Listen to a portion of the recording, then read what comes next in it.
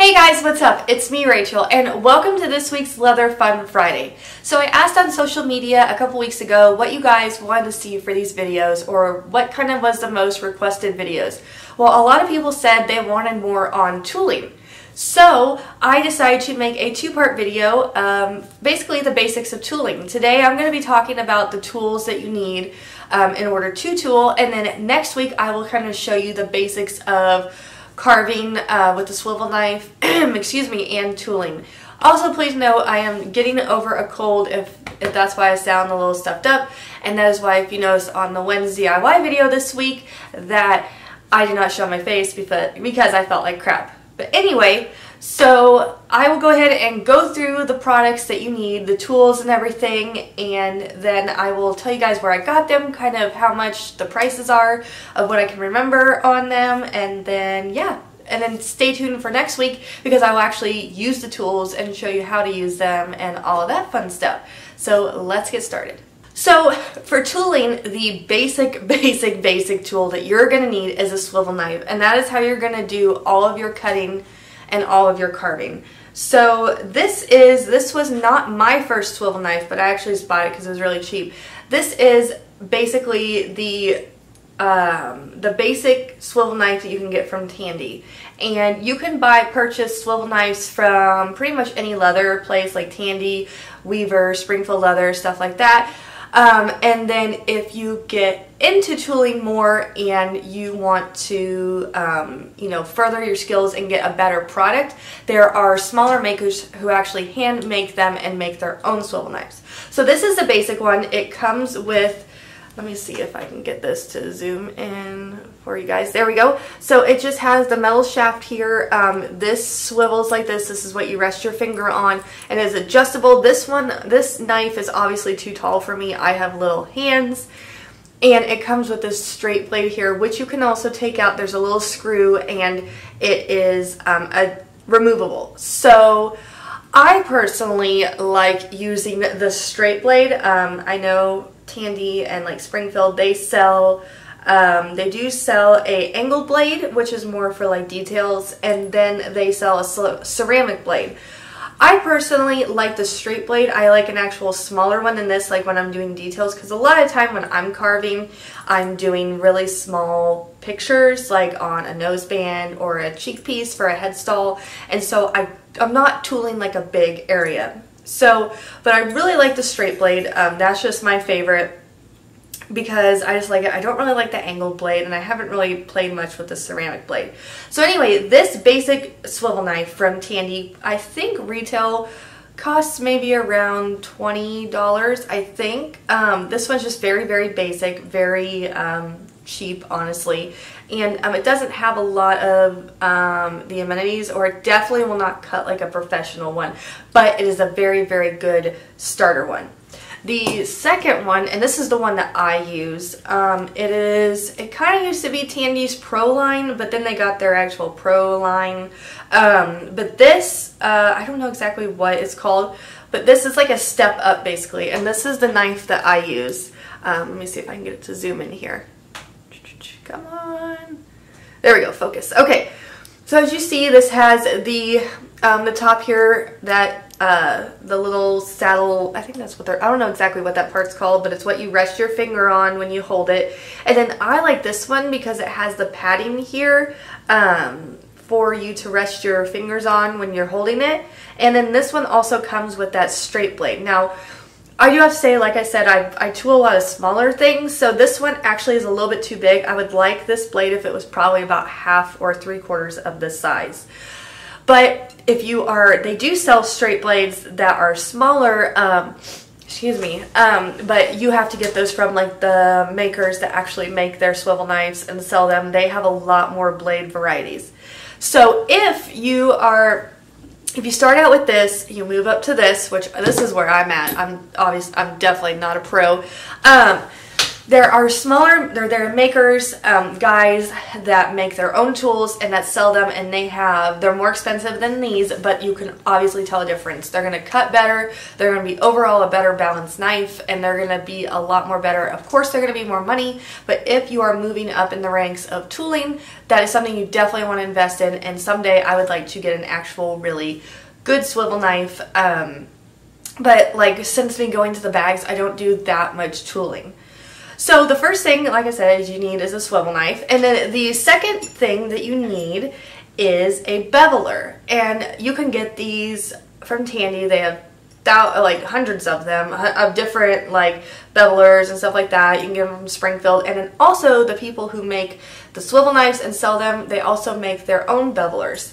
You could also get. So the Tandy ones, I do have to say, their standard tool line or their standard bevelers um, are not going to be the best. They're not going to they're not going to tool the best.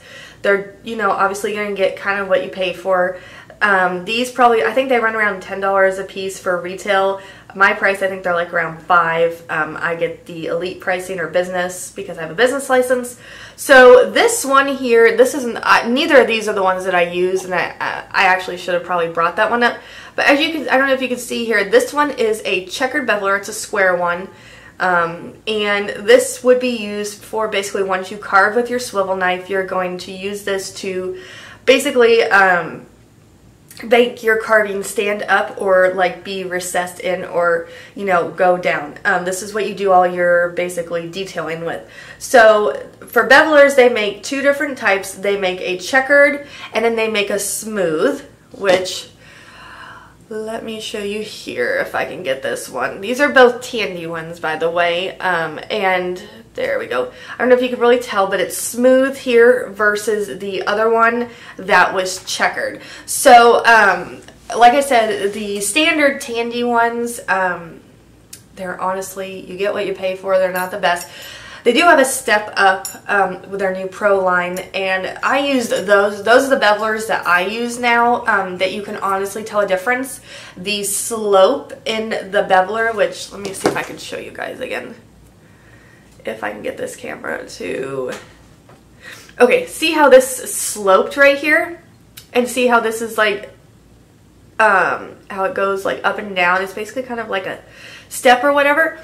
This one will not tool the best, I personally found out, because this, it's not sloped enough or this is not as tall. The Pro ones will have a longer area here and it'll be more upright and it honestly tools a lot better. The, um, the tooling is a lot more cleaner, you have a lot less bumps and that is what I like. And on the topic of bumps and stuff, when you're starting out tooling, it's obviously not going to be perfect, picture perfect, and it's not going to be smooth because you got to get used to the rhythm of it. You got to get used to holding your tools and all of that. It, it depends on the leather that you're working with, if you case the leather right.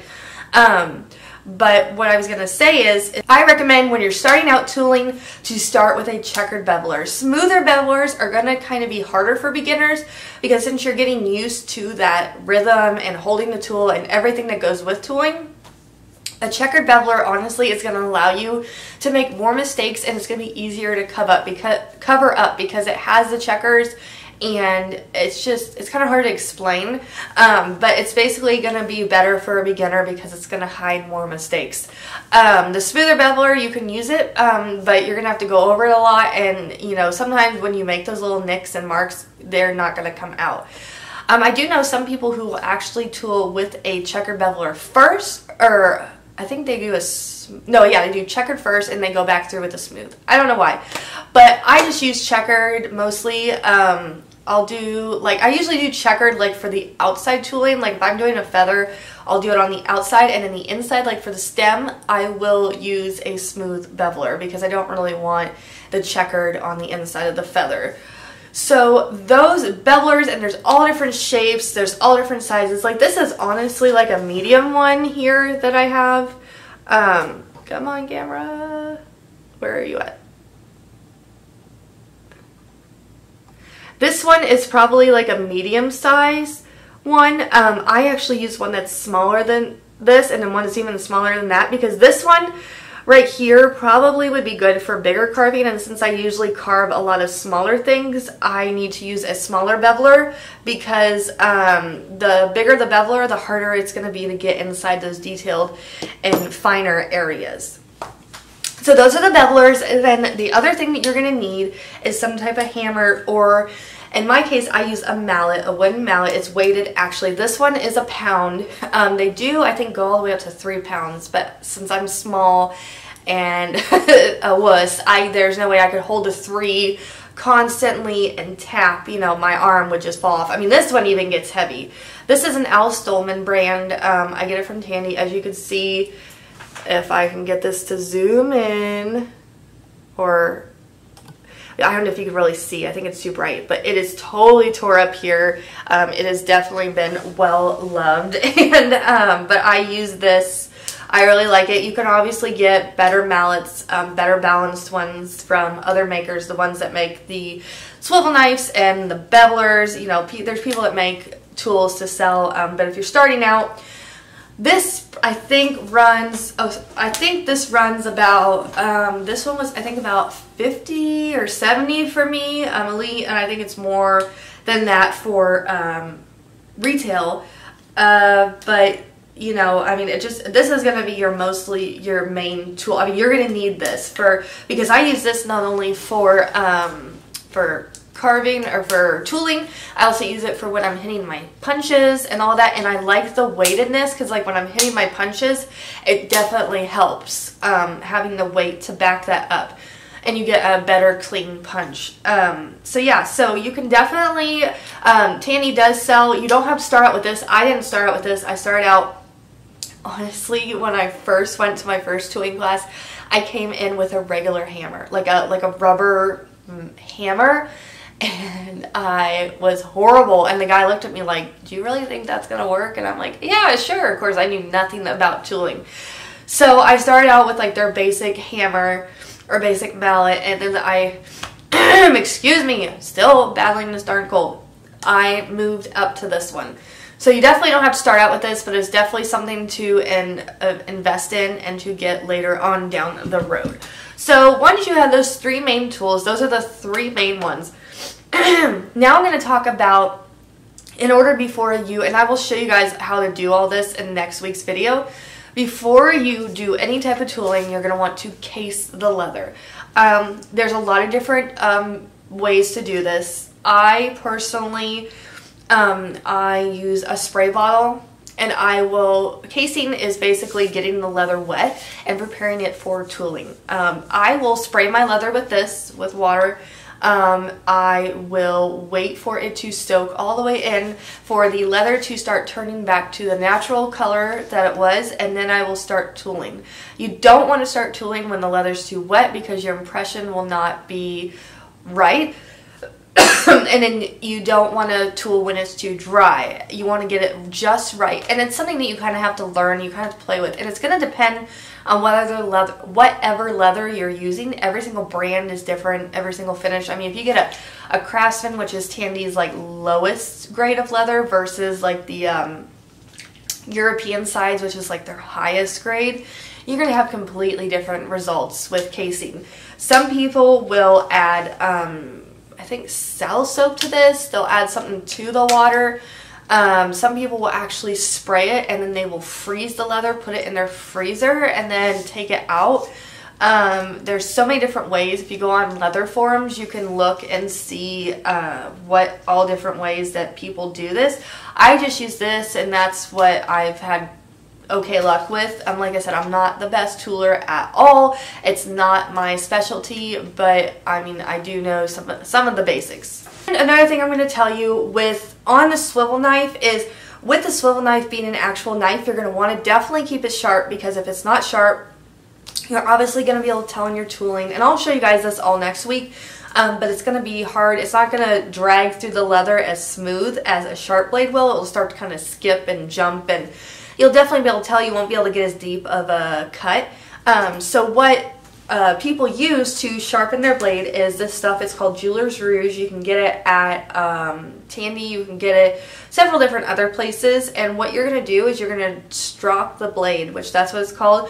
You're going to get, they do sell stropping boards, um, but you can also take a piece of leather, rub this on it, and then basically what you're going to do is you're going to take the blade, you're going to keep it at an upright angle like this because your um, the blade itself comes to a point and you're not going to want to round that off. You got to be very, very careful and you're just going to pull it back quickly, probably around 20 times. Then you're going to flip it over and you're going to do the other side. Um, they do sell, I know Tandy or Springfield, they sell a little device um, that basically will hold your blade at the right angle. So when you're learning how to strop, um, you don't mess up your blade and don't make it um, dull or make it uh, off, you know, make sure it stays the same. Um, I just basically, I had to learn how to do it over several times. And like I could kind of tell right now, like the blade's not going to be sharp enough to like cut your finger if you run it over it, but I could tell that it's definitely dull in the middle. I can definitely tell that it's this one needs to be stropped.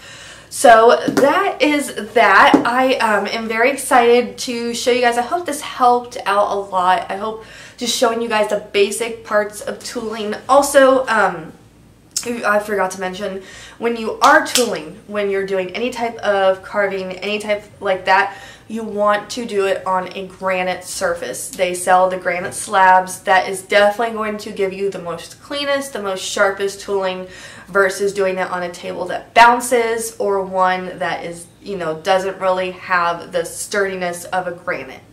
So thank you guys so, so much for watching. I hope you enjoyed this. If you do, please give it a thumbs up. Let me know in the comments below if you enjoyed it. If you have any other questions, um, if you want to know uh, a link to a specific item, I will definitely give it to you guys. Um, if you have any, like I said, any other questions, let me know.